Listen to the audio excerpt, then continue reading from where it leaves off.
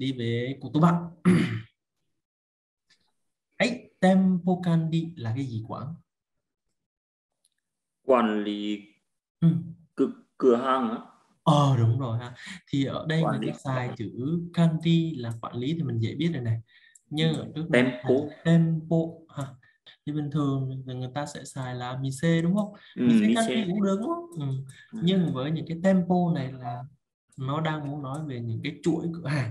Ví dụ Chuỗi. như là ở cửa hàng A này nó sẽ ở Nagoya nó sẽ mở một cái cửa hàng ở phía đông Nagoya nó mở cửa hàng ở phía tây Nagoya nó mở cửa hàng ở Tokyo.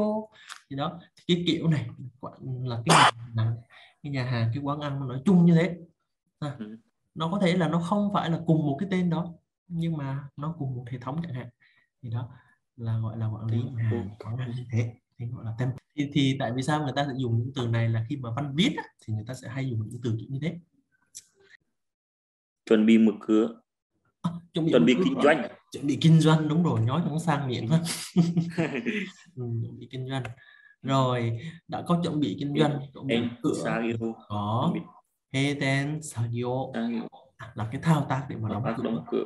Bây giờ không phải là chuẩn bị đóng cửa nữa mà là thao tác đóng cửa đúng không? Đó. Rồi sẽ có từ xe số Sagio là à, vệ sinh đúng rồi. Mình mở hay mình đóng gì mình cũng phải có vệ sinh hết đúng không?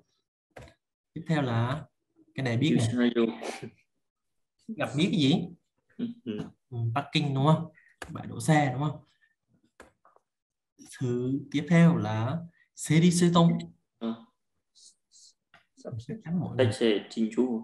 Sắp xe xe chính chu hả? sắp xếp sàng lọc à sắp xếp sàng lọc xếp sàng lọc tắt của em ơi. Hai cái này nó khác nhau với ngày mà nó hỏi đó. Đề vừa rồi nó cũng ra đấy.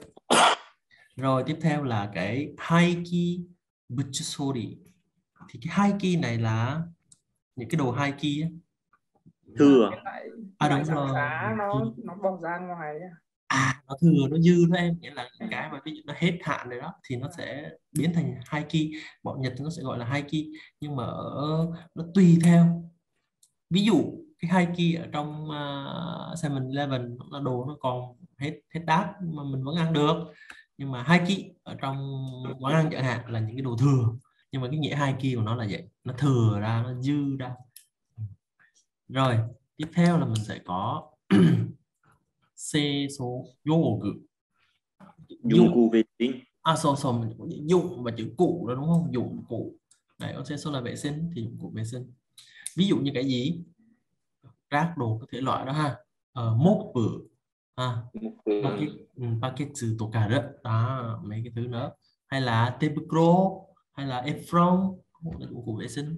Mọi người có thấy cái efron mà bằng nhựa không? Cho nó khỏi ướt ấy. Rồi cái này là à, niziosen niziosen là ô Ô nhiễm thứ cấp. Ô, ô nhiễm thực cấp. Bên bên bên ờ, thực phẩm có học không quảng có học xin chứ Ừ, cái phần đúng. นี้ là bắt đầu học á. Ừ. à, ô nhiễm thứ cấp với ô nhiễm gì nữa? Ô nhiễm chéo. À đúng rồi ô nhiễm chéo. Thì có kosa o cô sao chứ ừ.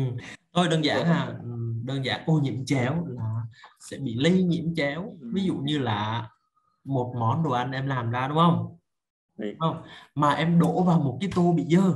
Vậy thì cái món đồ ăn đó nó sẽ bị gì? Bị ô nhiễm đi. Ô đó nó gọi là đó là gọi là sự ô nhiễm chéo nghĩa là cái này nó lây qua cho cái khác. Hiểu không? Hoặc Ừ. là những cái mặt bàn của em sạch sẽ rồi mà em lấy một cái khăn mà cái khăn nó bị dơ bị quẹt vào đó bị dơ lau lên cái mặt bàn cái mặt bàn nó bị ô nhiễm liền. Là gọi là ô nhiễm chéo.